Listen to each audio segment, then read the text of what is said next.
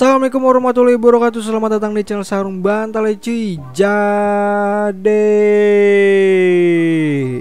Di video kali ini kita akan bermain game Roblox lagi Dan kali ini gue akan kembali bermain game stand up right ya cuy ya. Yang di mana di video kali ini gua sudah memiliki stand the world lagi cuy. Nih kali misalnya cuy ya. Ya walaupun atributnya cuma strong Tapi ya udahlah ya enjoy aja. Yang penting ini gue punya. Karena memang ya seperti yang udah gue bilang di video yang sebelum-sebelumnya cuy ya. Kalau misalnya gue tuh nggak terlalu mentingin atribut Karena juga nanti ya pada akhirnya nggak dipakai gitu. Atau mungkin bakal ganti sama stand lain gitu cuy ya. Dan ditambah juga gue tuh udah punya stand yang emang bisa gue gunain buat farming cuy. Jadi makanya gue tuh nggak terlalu mentingin banget atribut cuy ya. Jadi ya pokoknya enjoy cuy ya santuy ya. Dan di sini Gue tuh niatnya pengen ngerubah si The World gue ini menggunakan orb cuy. Nah gue nih lupa Maksudnya tuh lupa namanya cuy. Jadi kayak si The World ini namanya jadi apa? Kalau misalnya pakai buku ini kan pakai diary nih Dio diary kan namanya jadi The World of Riven gitu. Nah kalau jadi orb ini gue lupa namanya apa Tapi daripada banyak ngomong ya Ini gak rubah-rubah Langsung aja cuy ya.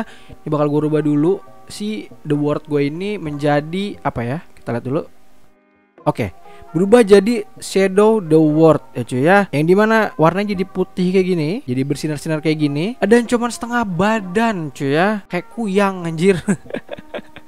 Oke jadi kayak gini Dan ini tire juga jadi naik Jadi double S Stand healthnya juga jadi 440 Terus untuk ya segala macamnya. Ya kalian bisa baca sendiri cuy ya. Kalian bisa lihat sendiri dan berubah jadi shadow the world cuy ya. Yang di mana ya kalian tadi bisa lihat sendiri cuy ya. Cara ngerubahnya itu kalian harus punya orb Nah, orb ini bisa kalian dapetin dari ini, dari spawn. Ya spawn random di sini nih di map ini. Ya intinya kayak inilah, kayak stand arrow ya, spawnnya random gitu. Cuman ya memang hoki-hokian. Kadang muncul, kadang enggak cuy ya. Jadi usahain kalau misalnya kalian yang pengen tahu muncul apa enggaknya tuh ya kalian menurut gue sih wajib punya ini ya, punya notif. Cuma kalau misalnya kalian yang nggak punya notif ya udah kalian keliling-keliling aja cuy. Selama satu jam, dua jam, tiga jam, satu hari kalau perlu cuy ya. Kalian keliling-keliling aja lah. Barangkali nemu ya kan, barangkali lagi hoki gitu nemu orb cuy ya. Cuman kalau misalnya kalian yang nggak mau nyari-nyari kayak gitu dan kalian gak mau ribet itu ada juga caranya cuy. Kalian tinggal hajar Jotaro aja cuy ya. Hajar Jotaro.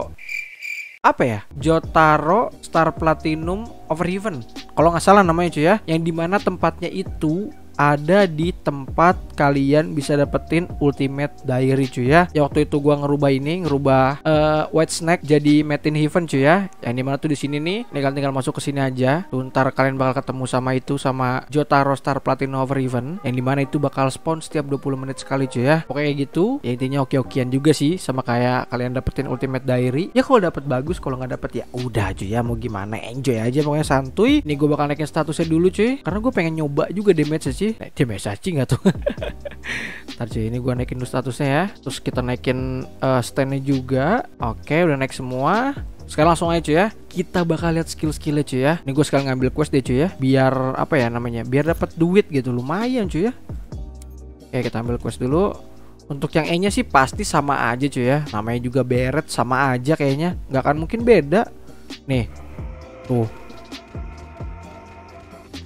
Bentar, bentar, bentar. Ngomong-ngomong, suaranya jadi beda cuy ya. Jadi kayak makin sangar gitu loh suaranya. Suara pas lagi muda-muda muda-muda kayak gitu cuy ya. Kalau kalian pencet E, oke okay sih kalau menurut gue ya. Suaranya keren gitu jadi makin sangar gitu cuy. Untuk suara yang E-nya ya. Nih.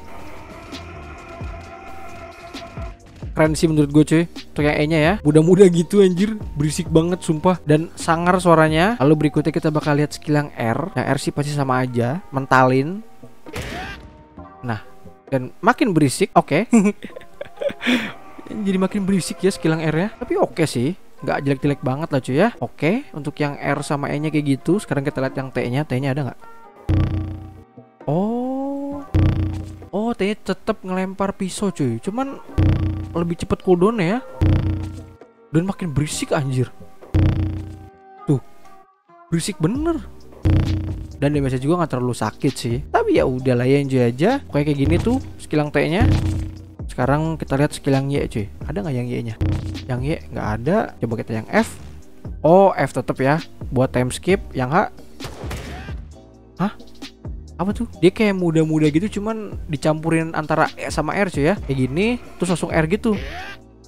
Kayak gitulah pokoknya tadi yang F nya ntar bentar cuy. Ini cooldown ya. Gue ulang lagi nih. Eh bukan yang F yang H maksudnya. Nih yang H nih ya deketin oh iya berarti itu antara uh, combo skill yang E sama skill yang R cuy ya. Kalau untuk yang H-nya, kalau berikutnya untuk yang Z pasti Z tuh Zawarudo udah ya. Iya pasti udah sama cuy ya. Kalau yang Z kita lihat yang X dulu deh.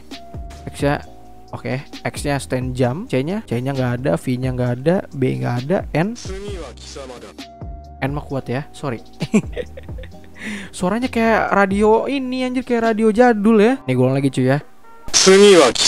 Kayak suara radio jadul anjir. Aduh, tapi keren sih. Jadi agak sangar suaranya cuy ya. Suara si The Word ini mantep mantep pokoknya. Kita bakal coba skill yang Z ini cuy, jauh rudonya. Lama banget apa enggak kita lihat cuy ya. Oke. Tungguin dulu.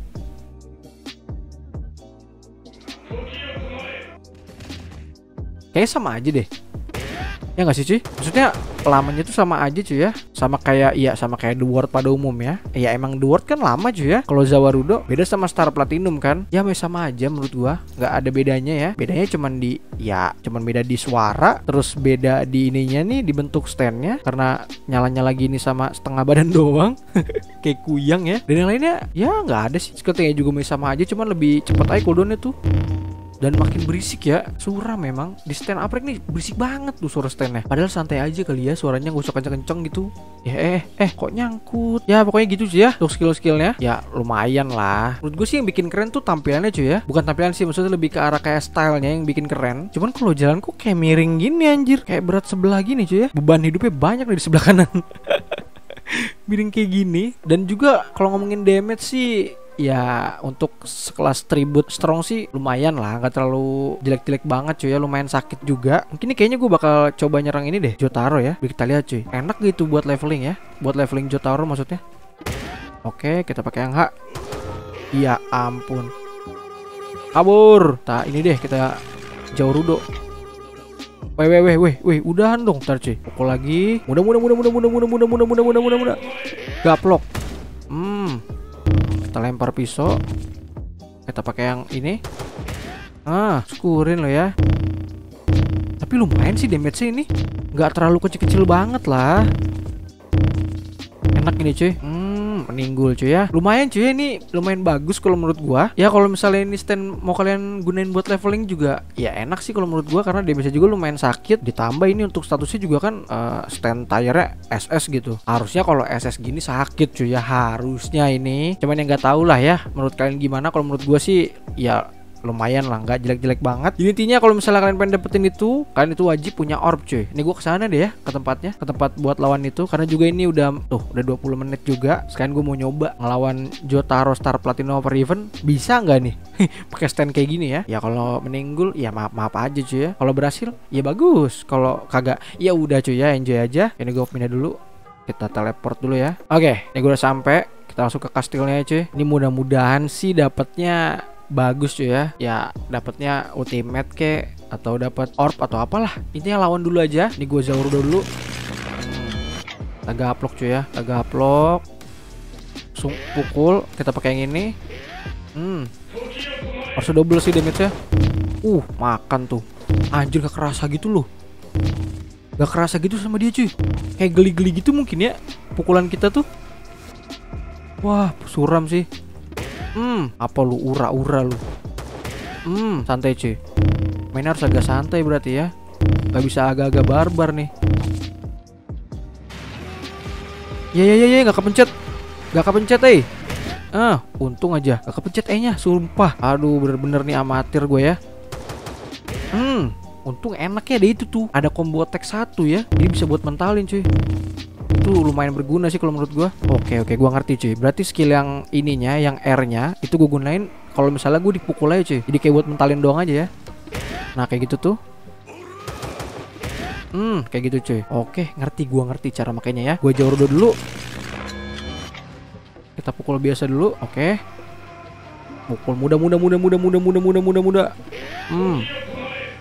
Combo combo combo. Hmm, sabar sih sabar sabar sabar sabar kita pindah dulu kita pakai yang berets oke hmm gaplok lagi kita pakai yang H hmm enak lu gue kira nggak bakal kuat lo cuy Sumpah gue kira ini gak bakal kuat tuh cuy pakai stand ini. Karena biasanya gue ngelawannya tuh pakai tax ya, tax up biasanya. Tapi ini oke sih, mantep lah. Gak jelek-jelek banget buat ngelawan. Masih kuat-kuat aja. Asal kalian tahu cara ngelawannya sih cuy jangan terlalu barbar aja sih santai-santai aja nih juga gua santai cuy ya walaupun level gede tetap santai mainnya gitu ajar cuy nah meninggal ya kita lihat dia ngedropnya apaan cuy kayak dia ngedrop apa ini kita lihat Oke, dia ngedropnya Dio Diary cuy ya. Oke lah, nggak apa-apa. Enjoy pokoknya. Jadi gini cuy ya.